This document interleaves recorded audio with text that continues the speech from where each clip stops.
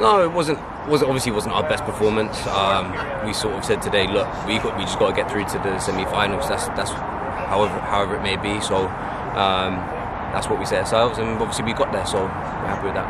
And since the last time I was speaking to you, you signed a new contract. How do you feel about it? No, obviously it, it made sense to extend another year, and I'm in good form. I love love the city of Belfast, love what, I'm doing right now, so it all makes sense. So I'm really happy with that. And this Tuesday coming away to Glenavon, the team is pushing for a playoff place. It could be a tricky one. No, it's it, Glenavon away. Like I said, I said over there, like it's not an easy, it's, it's not an easy tie. Like it's not a given, and I think that's for quite a few teams in this league. It's not, not a given to go there, so we got to make sure we prepare well, um, rest up, and make sure we, we go there Tuesday night. And again, we just go there to win.